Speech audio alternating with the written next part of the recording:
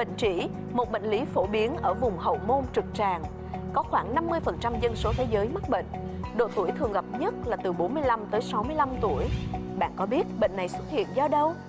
Bệnh trĩ là mình nghĩ là do nguyên nhân là chắc mình ngồi văn phòng nhiều với lại là mang giác vật nặng á. do cái đường tiêu hóa mình không tốt đó rồi ngoài ra những cái người mà làm công việc mà thường xuyên đi nhiều như là thu tiền điện tiền nước á thì nó cũng là một nguyên nhân gián tiếp dẫn đến bệnh trĩ ngồi may á may mà mình ngồi nhiều với lại là hay bị táo bón nữa Có lẽ hầu hết mọi người đều biết rõ yếu tố thuận lợi để bệnh trĩ phát triển như để tình trạng táo bón kéo dài, tiêu chảy kéo dài, ngồi lâu một chỗ, áp lực ổ bụng căng như ho nhiều, mang vác nặng.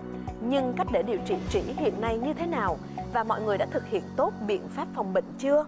để tránh cái bệnh trĩ á, là mình thường hay ăn những cái uh, đồ ăn là nó có chất xơ nhiều với lại là mình vận động cơ thể mình không có ngồi lâu ở một chỗ. Nhưng mà tại vì ờ, do cái tính chất công việc á mình đôi khi là mình ăn uống nó nó không có được điều độ với lại là mình cũng ít uống nước nữa. Thì mình cũng biết là đối với cái bệnh trĩ á là mình có một cái số bài tập dành cho riêng cho giới văn phòng. Nhưng mà do là cái công việc hiện tại là nó tất bật quá, mình cũng không có thời gian để mà thực hiện những cái bài tập đó luôn Do đặc thù công việc thì mình cũng phải chịu thôi, chứ mình cũng không biết là cách phòng ngừa nào khác hết á.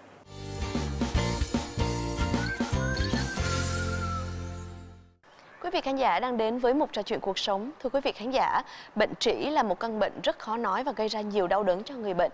Và hiện nay bệnh trĩ có những phương pháp điều trị như thế nào? Theo quan điểm của Đông y và Tây y thì có gì khác nhau? Và có thể kết hợp cả hai phương pháp điều trị cả Đông y lẫn Tây y để đem đến kết quả tốt nhất cho người bệnh hay không? Và nếu như người bệnh muốn sử dụng các loại thảo dược để điều trị bệnh trĩ thì nên lưu ý những điều gì? Tất cả những câu hỏi này sẽ được giải đáp ngay sau đây cùng với sự tư vấn của khách mời. Chúng ta sẽ cùng gặp gỡ tiến sĩ bác sĩ sĩ Nguyễn Thị Sơn, giảng viên Đại học Y Dược Thành phố Hồ Chí Minh. Xin chào tiến sĩ bác sĩ Nguyễn Thị Sơn ạ. Dạ vâng, à, chào MC Thanh Vân à, và chào khán giả của chương trình. Dạ thưa bác sĩ, ngày hôm nay chúng ta sẽ cùng nói về bệnh trĩ là một căn bệnh mà uh, hiện nay cũng em thấy là nhiều người mắc phải nhưng mà đôi khi họ e ngại không có dám uh, nói ra hoặc là không có biết cách để mà chữa trị một cách triệt để. Đầu tiên thì xin uh, nhờ bác sĩ giải thích cho quý vị khán giả biết là theo quan điểm của Đông y và Tây y thì uh, mình nên hiểu như thế nào về trĩ ạ? Theo quan điểm của Tây y, á, trĩ là một cái hiện tượng mà nó có một cái búi nó lòi ra ở ngoài hậu môn mà đặc biệt nhất là người đó hay bị đi tiêu ra máu mà đặc biệt là máu tươi. Tôi lấy ví dụ ở cái tay chúng ta, Thanh Vân thấy hồi trẻ cái mạch máu không có nở phải không? Dạ. nhưng mà đến khi già mình thấy mạch máu to dần ra thì cái mạch máu đó là tĩnh mạch thì nếu cái tĩnh mạch đó nó nằm ở hậu môn mà nó càng ngày nó càng to ra thì người ta gọi đó là cái búi trĩ còn à, quan điểm của ông đông y thì cũng giống như vậy thôi. Nhưng về quan điểm của đông y là gì? Là đó là hiện tượng mà cái cơ quan của cơ thể nó bị yếu nó sẽ làm cho nó bị xa ra. Thì cái người đông y nó cũng gọi đó là cái tình trạng là gì? À, khí huyết bị ứ trệ ở vùng đó.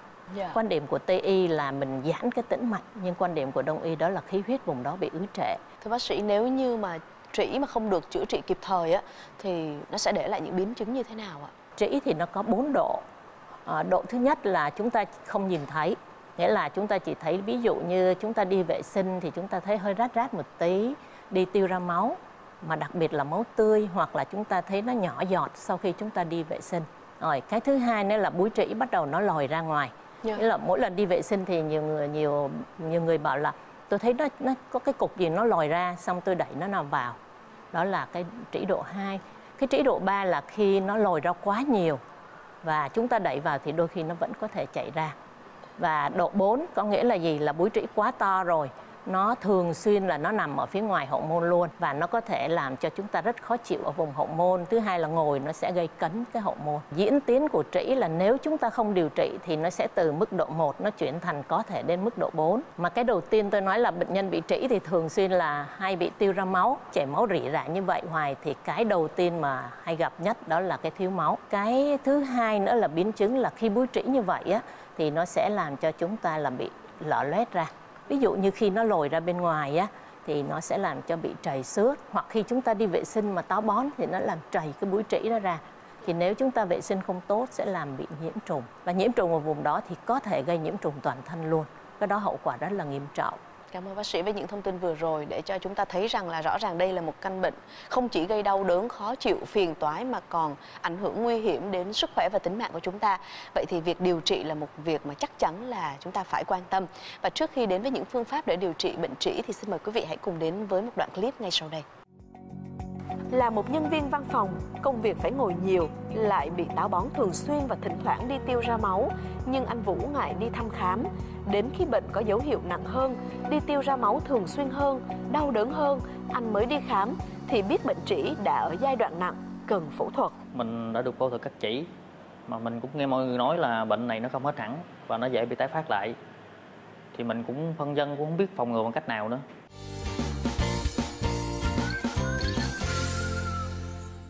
Dạ thưa bác sĩ, hiện nay trong Đông y và Tây y có những phương pháp nào để điều trị bệnh trĩ ạ? À, Ờ, cả hai phương pháp Đông y và Tây y đều có cả nhiều phương pháp để điều trị. À, đầu tiên là nếu tùy theo mức độ của trĩ mà người ta có những phương pháp điều trị phù hợp. À, tôi lấy ví dụ như là ở mức độ 1, độ 2, độ 3, à, người đến thậm chí đến độ 4 nếu mà chúng ta tuân thủ một cái điều trị bằng thuốc tốt á, người ta gọi là điều trị bằng nội khoa thì chúng ta vẫn có thể điều trị được. Tuy nhiên, ở mức độ 3 và mức độ 4 khi chúng ta điều trị nội khoa mà không có đáp ứng thì có thể là sẽ phải tiến hành một cái một số thủ thuật. Thì bên Tây y có một số thủ thuật là người ta có thể dùng những cái phương pháp để cắt cái búi trĩ đó đi, hoặc chúng ta, người ta cột cái búi trĩ lại để cho cái búi trĩ nó teo và nó sẽ tự thoái hóa đi. Bên cạnh đó thì ờ, cái người Tây y cũng dùng một số loại thuốc mà có khả năng là làm cho cái mạch máu của người chúng ta nó bền lại. Thì bên Đông y cũng vậy à, đông y thì quan điểm là cái trĩ nó là cái tình trạng là khí huyết nó bị ứ trệ lại và nó gây nên búi trĩ.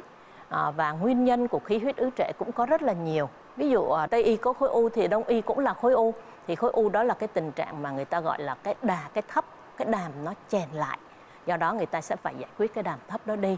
Còn nếu mà người đông y mà do cái tình trạng là cái tiêu hóa của chúng ta không tốt thì người ta có thể quan điểm đó là do cái tỳ vị không được à, hoạt động tốt thì khi đó người ta sẽ dùng những cái loại thuốc để bổ sung cho tỳ vị.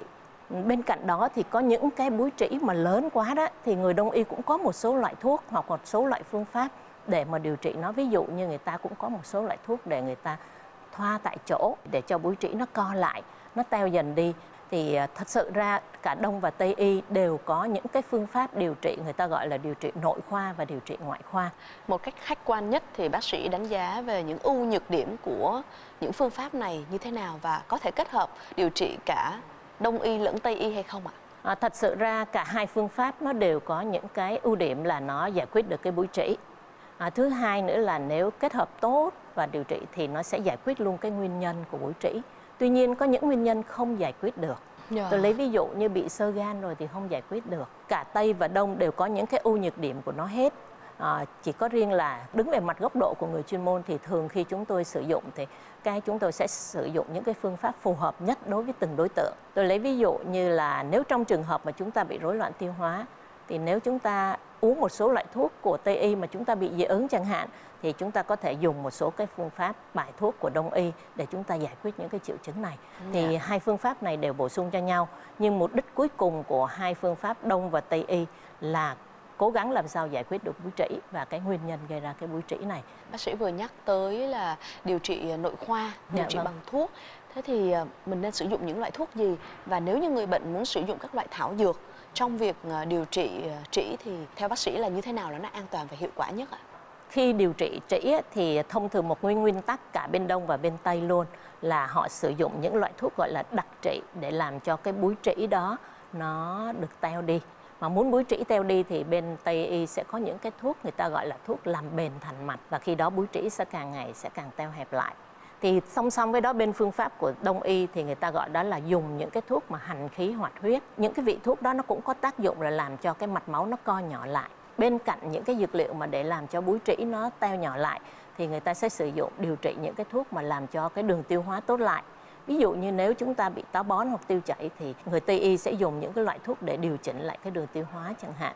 Thì bên đông y cũng có những cái bài thuốc kết hợp bằng những cái dược thảo mà nó sẽ có phối hợp làm cho cái đường tiêu hóa của chúng ta hoạt động tốt hơn Bệnh trĩ khi nặng thường gây ảnh hưởng rất lớn đến sức khỏe của người bệnh, khiến chất lượng cuộc sống của người bệnh bị ảnh hưởng nặng nề, tinh thần không thoải mái. Rất nhiều người khi mắc trĩ thường không đi khám sớm, âm thầm chịu đựng và khi đến bệnh viện thì tổn thương thường quá lớn nên phải áp dụng những phương pháp điều trị xâm lấn nhiều, gây khó khăn, đau đớn và tốn kém. Vì vậy, khi có dấu hiệu của bệnh, việc đi thăm khám sớm ở các bệnh viện có chuyên khoa hậu môn trực tràng và có những bước điều trị thích hợp. Thưa bác sĩ, để mà phòng ngừa bệnh trĩ cũng như nếu như đã bị rồi, chữa rồi, khỏi rồi, tránh bệnh trĩ tái phát thì người à, bệnh nên lưu ý điều gì ạ? Để phòng ngừa bị trĩ hoặc là để phòng ngừa tái phát trĩ sau khi chúng ta điều trị xong thì cái đầu tiên là chúng ta nên thay đổi lối sống. Ví dụ như chúng ta thường xuyên là không có thói quen ăn rau củ quả chẳng hạn thì chúng ta nên tăng cường chế độ ăn rau củ quả một tí để cho cái tiêu hóa của chúng ta nó tốt. Yeah. Thứ hai là chúng ta sẽ nên tập một thói quen đi tiêu mỗi ngày.